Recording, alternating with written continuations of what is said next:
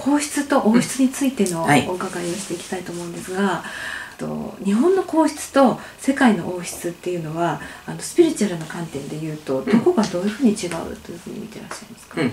やっぱり基本的にトップに立つ意識というのは、はい。やっぱりなんて言うんでしょうね。一般これ格付けをしている意味ではなくて、はい。言葉がちょっとないのでね、そういう言い方をするんですけどそのじゃあトップとじゃあトップじゃない一般の人たちというのはやっぱり考えていることも感じていることも捉えていることも基本的には全く違うんだっていうことを知ることがとても大事なんですね。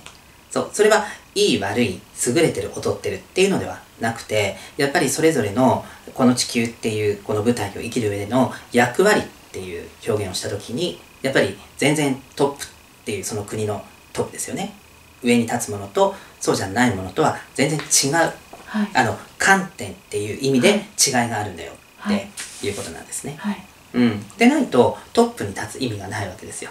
またはその国の、えー最上位に立つっていう意味がないわけですよね。だからそれは本当に皇室という天皇においても同じことが言えます。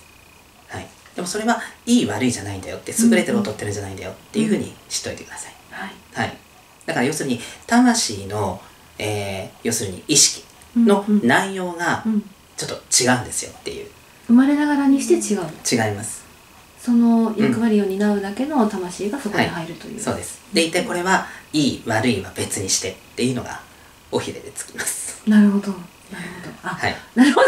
すごくなんか意味深な、うん、まあ日本の皇室はあの、はい。この三次元的には、はい。あの一番位が高いというかね。はい。女王エリザベス女王よりも、あのポープうん。ローマ法王よりもはい。位が高くって、うん。もう唯一ですよね。今は皇帝という名乗る、エンペラーと名乗ることができるのははい。あの天皇だけということなんですが、うん。やはりそこには、うん。キングと比べてエンペラーの方が、うん。その波動的に見てもうん。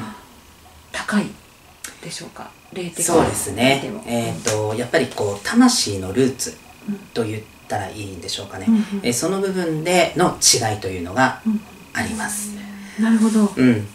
でもこれをその波動、まあもちろん波動は違います。というよりも全然そのここに3人人がいれば3人全く波動が違うわけですね。はいそうみたいにその波動の違いっていうのはあるんででもその波動の違いというふうに表現した方が正しいですね。なるほどうんその高い低いではなくそうですそうです違いということで、はいまあ、もちろん高いって表現することもできるんですけどね。でも高いっていうとどうしても僕たちはじゃあ高いものの反反対として低いっていうそこでこう優劣をつけるような意識になっちゃいがちですよね。はいはいはい。なのでそれをちょっと避けるために違いというふうに表現しました